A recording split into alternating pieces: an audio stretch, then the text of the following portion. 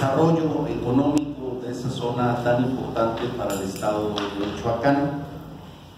y sobre todo eh, señalar que se van a presentar eh, este miércoles en pleno eh, posturas y exhortos al respecto. He comentado con algunos diputados, con Javier Paredes, presidente de la Comisión de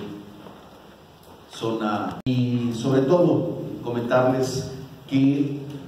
en esta conferencia de prensa es para darles a conocer esta postura que contiene varios elementos eh, con el propósito de hacer un llamado al próximo Ejecutivo Federal que a partir del 1 de diciembre encabezará Andrés Manuel López Obrador como presidente de la República para que se impulse, se sigan manteniendo las acciones orientadas a detonar el gran potencial del puerto de Lázaro Cárdenas. El pasado 26 de octubre, como ustedes saben, realizamos una gira eh, en Lázaro Cárdenas, en la que tuvimos un importante acercamiento con autoridades de la Administración Portuaria Integral, Ayuntamiento de Lázaro Cárdenas, empresarios de la región, y hay una pues afortunada coincidencia entre todos estos actores de impulsar el desarrollo de la zona económica especial, con énfasis en una distribución más equitativa sobre la generación de desarrollo económico y disminuir el rezago histórico que vulnera esta región. Con ese objetivo en común asumimos el compromiso de trabajar juntos, cada quien desde su trinchera, pero en consenso en favor de este desarrollo.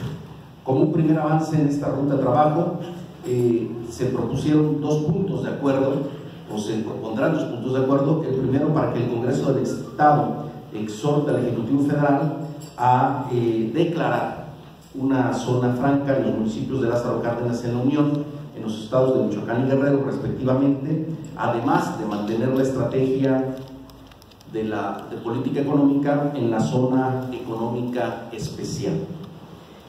Y exhortar también al Congreso de la Unión a que haga lo conducente para que los recursos excedentes de la Administración Portuaria Integral, API o APILAC, puedan ser canalizados al desarrollo de municipios y elevar los niveles de bienestar de sus habitantes. El segundo punto de acuerdo es para exhortar al Ejecutivo Federal a que en su proyecto de descentralización del gobierno federal considere el traslado de las oficinas nacionales de la Coordinación General de Puertos y Marina Mercante a la ciudad de Lázaro Cárdenas. Respecto a la zona franca, porque ese es un tema eh, nuevo, es un tema que ha estado impulsando, que se ha estado señalando sobre todo para la frontera norte del país y de, la cual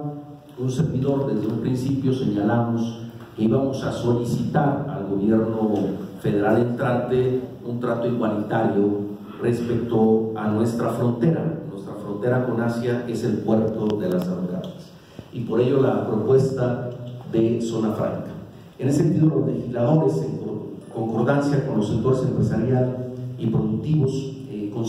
esta zona franca como complementaria de la zona económica especial, por lo que proponemos hacer un llamado al presidente electo Andrés Manuel López Obrador a que dé continuidad a las políticas públicas para consolidar las zonas económicas especiales en el país, las cuales ya están establecidas por ley. Y la de Lázaro Cárdenas específicamente ya está decretada en el diario oficial de la Federación con sus polígonos y sus zonas de influencia. Y que sean consideradas como áreas prioritarias para desarrollo nacional.